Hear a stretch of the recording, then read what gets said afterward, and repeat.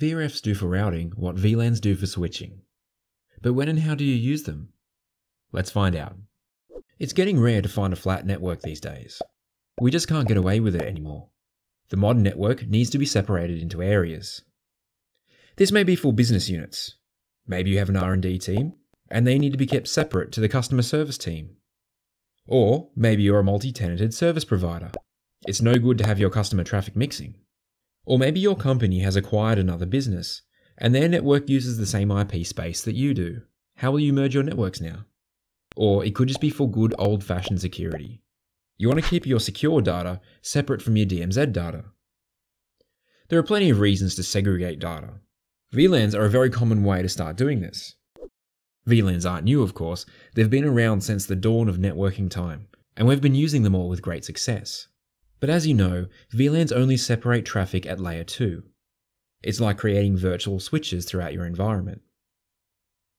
The result is that hosts in a VLAN can communicate with each other, but not with hosts in other VLANs. Until they get external help, that is. As soon as you put a router between these networks, your separation is lost. The hosts can communicate between VLANs again. To solve this problem, you could use a firewall instead of using a router. Or you may use ACLs on the router to selectively block traffic. This may work, just depending on what you need. But this may not be the best solution, in particular with multi tenancy, as your customers wouldn't be able to make changes on the firewall without seeing other customer data. Also, it doesn't help when you're having overlapping IP spaces. Another option is to use VRFs. VRFs are used to segregate data at layer 3. I've even heard of some people calling them layer 3 VLANs, although that's not actually correct, so don't do that. By default, a router will have a global routing table. Just one routing table where all routes, whether learned or local, are added. This is why those VLANs can communicate when a router is present. A VRF changes this default behavior. A VRF is a virtual routing table. In the same way that a VLAN breaks a switch into virtual switches, a VRF breaks a router into virtual routers. Now interfaces, and by extension VLANs, belong to a single VRF. Networks within a VRF can communicate, Networks in different VRFs cannot. There is simply no routes between the VRFs. This is something that's easier to see in action, so let's build a lab and configure some VRFs. In our little pretend business here, we provide services to our customers. We have one router, and each of our customers has one router. All routers are running Cisco IOS, Keep in mind that the commands you see here are a little different in other flavors of routers, like NXOS, but the principles all remain the same. Our customers also have some IP space that overlaps. We need to prevent this from becoming an issue. To build this network, we're going to create two VRFs, one per customer. The initial configs, like host name, IP addresses, and so on, have already been completed to save time. I'll put the initial and completed configs on the website if you want to do the lab yourself. We start by creating a VRF for each customer and giving them a description. The description is optional, but it helps later on when you're troubleshooting. Creating a VRF essentially creates a new empty routing table. But what's the point of a routing table if there's nothing in it? So we need to add some interfaces. Before we do, we'll have a quick look at the current interface config. You'll see why I'm doing this soon. And now we'll go into the interface configuration and we add it into the VRF. Now, here's something surprising. When you add an interface to a VRF, all layer 3 config on the interface is lost. It's a good thing we had a look at the interface config before we started, isn't it? So let's add that IP address back in. And here we get surprise number 2. In IOS, we need to make sure that IPv4 is enabled on the VRF. We do this by going back into the VRF definition and entering the IPv4 address family. If you're not familiar with the term, an address family is used to tell the router how a particular protocol should behave. In our case, we're not going to set anything. we're just entering into the mode to enable IPv4 on the VRF. And while we're at it, we'll do the same for the second customer.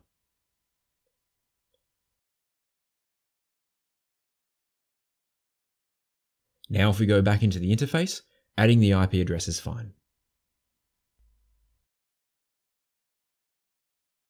Let's try a ping to this customer's router.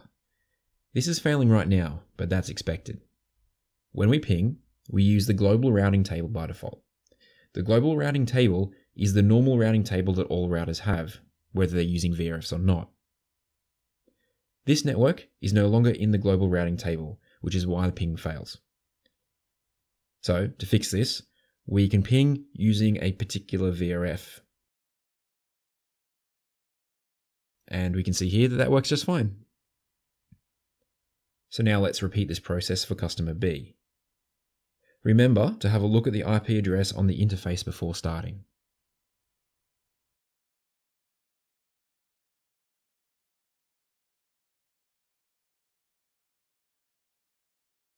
Notice here that we're only configuring the core router. We don't need to touch the customer routers. This is because VRFs are locally significant. Routers do not need to share VRF information. Okay, now we can take this a step further and add routes to the customer's networks. Here we also need to specify the VRF. If we don't, the routes go into the global routing table.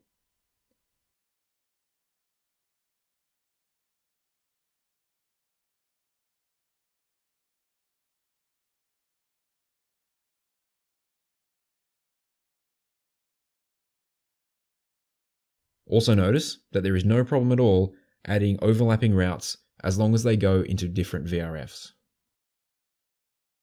Now we'll take a look at the routing tables to see how this looks.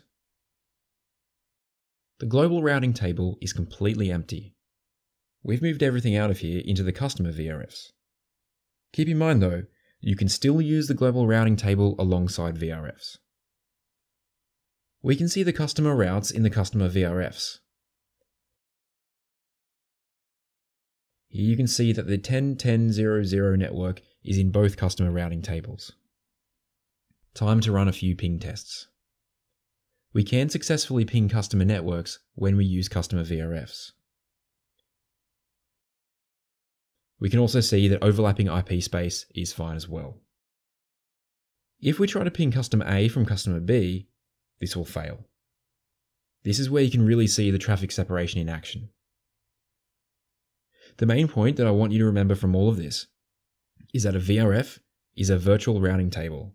They are used to separate traffic at layer 3. Now, let's go have a look at another scenario. Let's say that customers want to be able to communicate. However, this needs to happen via a firewall. This might sound like an unrealistic scenario, but it's not as bad as it sounds. Imagine, for example, that as an enterprise network, Instead of having customers inside your network like this, you have an inside network and a DMZ.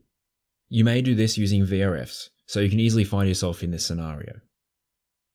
So let's grow our original topology. We now have a firewall and a single physical link to the core router. This is a trunk link, and we'll use a sub-interface for each customer. The firewall itself is in routed mode, so the core router will keep traffic separate and the firewall will route traffic from one customer to another, if the security policy allows it. There's two things to be aware of here. First, the firewall does not have VRFs. All routes go into its global routing table. And second, we can't allow the overlapping IP spaces to mix. In this scenario, the firewall has already been configured. That's because we're not focusing on firewall configuration here, we're looking at VRFs. So if you're interested in how that's put together, I'll put all the config files on the website and then you can do your own labs if you want to later. Now, we'll start by getting the connection to the ASA up. Part of this includes creating a subinterface on VLAN 10, adding it to the customer VRF, and configuring an IP address.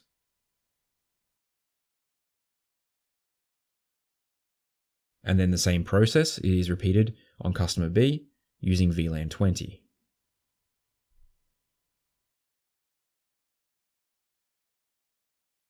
Now's a good time to double check that we have access to the ASAs on both VRFs.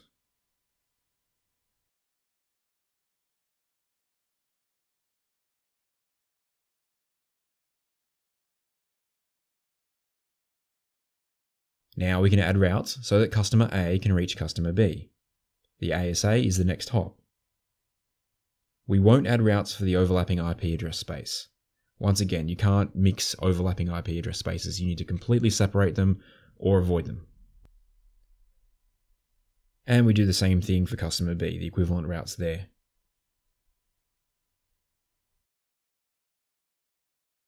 Now, I'm going to bring up customer A's router over on the side here. And running this trace confirms that traffic is indeed being passed through the firewall.